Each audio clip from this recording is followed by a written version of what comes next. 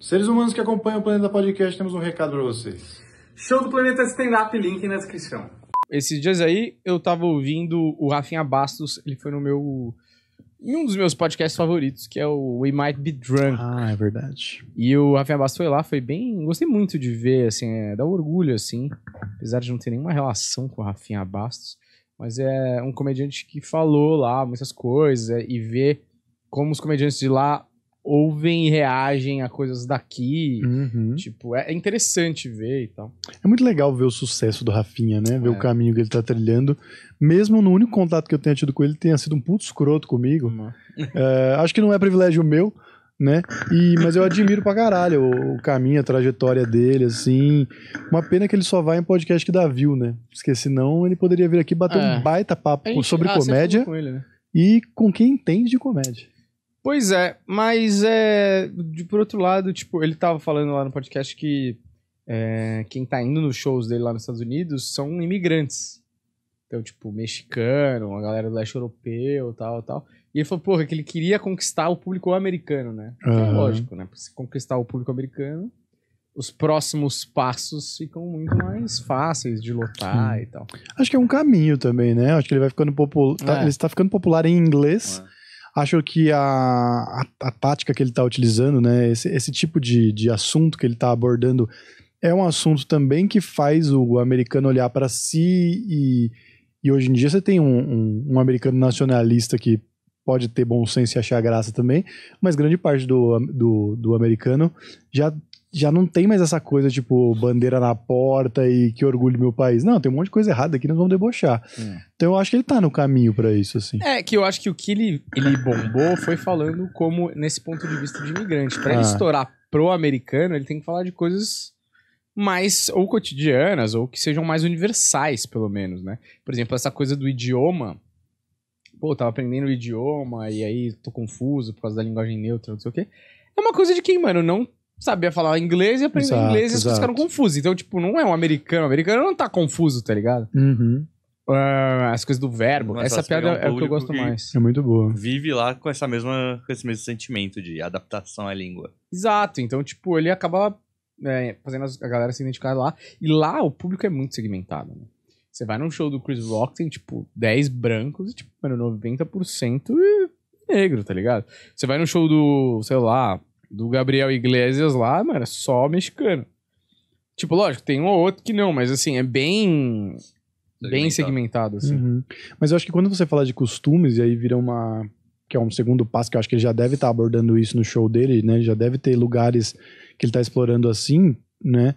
É, você cai numa uma coisa parecida com o que os gringos aqui, tanto o Paul quanto a Lia É. caem, né? De apontar o que pra gente é óbvio, mas a gente- é meio ridículo, a gente só tá acostumado. E aí eu acho que ele pega o americano.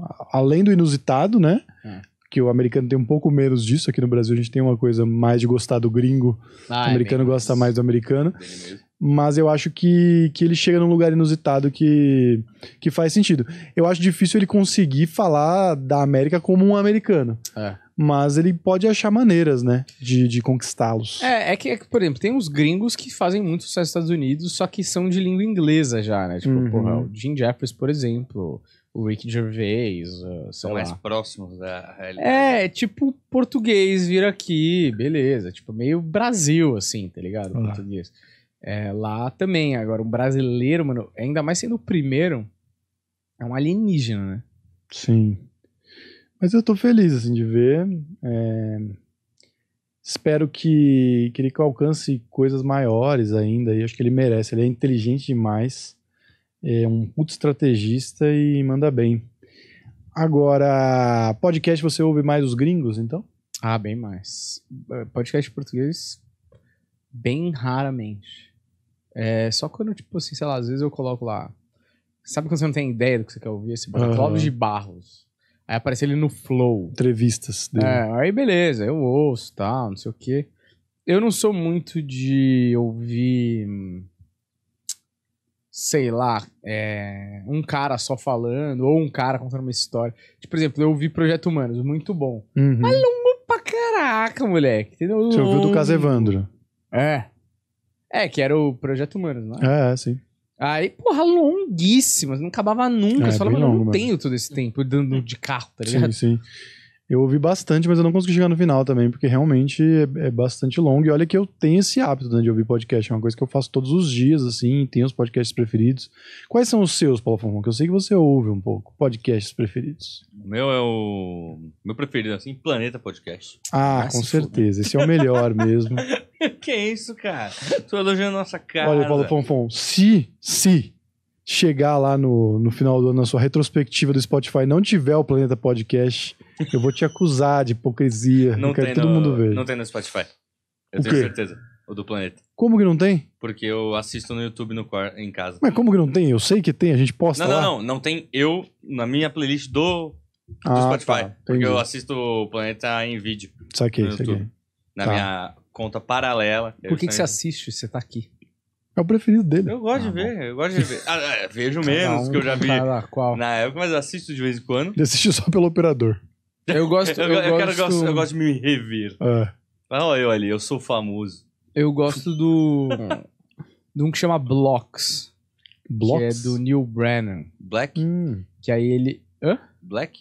Blocks. Blocks. E aí tipo, Cara, continua a revolução, cara. é, Anticapitalismo. Ele é bobo, ele é bobo. Só não segue. entendi nada. Blocks, essa, inclusive eu falar não entendi nada, lembra outra história que eu contei no é, Uhum. episódio anterior. Enfim, é, esse Blocks é um podcast que geralmente entrevista comediantes, mas ele tem um aspecto psicológico. Eu, eu acho uma pena ele não aprofundar um pouco mais. Às vezes eu acho que ele fica um pouco superficial e vira uma entrevista normal. Mas a ideia é muito boa, assim, de tipo. Porque você assistiu Blocks do Neil Brennan? Não. Quais são as coisas que te dão gatilho, assim, por Hum. quê e tal. E é meio que essa proposta, falar com os comediantes de coisas mais assim. Não tão. Puta, você faz o quê? Mas aí eu assisti o episódio do Seinfeld agora, que ele tá é, divulgando o filme dele, Unfrosted. Que eu não consegui terminar de assistir. Hum. Um amigo gostou muito. Ah, Falei com ele, ele falou, não é muito bom. possível. Não, Eu tenho tem coisas muito legais, ele é inteligente, mas assim. Sério. Você gastou uma hora e quarenta pra falar de uma sobremesa de café da manhã, cara. É o Seinfeld, né? Porra, é o negócio mas- dele, né? Enfim. E. E assim, é bom que tem muito comediante, né? Tem, porra, Hum. Ced- Cedric the Entertainer, Bill Burr, Amy Schumer, é, aquela mulher indiana que eu esqueci o nome, que eu nunca lembro. É, o, o irlandês grandão, Jim Gaffigan. Sei lá. Vários comediantes, é legal. Uma galera, uma galera. Galera. E o próprio Seinfeld. E aí eu gosto de Blocks também, acho um, um podcast bem divertido. Cara, de comediante eu ouço de vez em quando Tom Segura. Ouvi alguma coisa assim, uma época, mas passou assim também do. Do. Tom- do como chama lá? O japonês lá? O Bob Lee. Lee com, Bob Lee. o, com, com o Ruivo lá, Bad com o Santino. Friends. que era legal também. Mas eu ouço muita coisa nacional, cara. Eu ouço muito 99 Vidas, que é de nostalgia, videogame. Ouço, às vezes, o da Tati Bernardi lá, que é Meu Inconsciente Coletivo, que é bom também.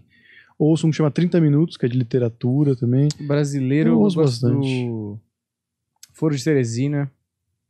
É bom. Esses aí já é mais na linha do Projeto Humanos, né? Uma coisa mais jornalística. É, é né? que o Projeto Humanos, ele, ele pega uma história e aprofunda, né? Esse é mais notícias do dia a dia, da semana, né? Uhum. É mais político, vamos dizer assim. Mas aí eu ouço de vez em quando, alguma coisa tipo, hora... Fim do expediente com o Dan Stuba, que é Hum, legal também. Que é da CBN, não é? É, Legal. E. Mas assim, eu não.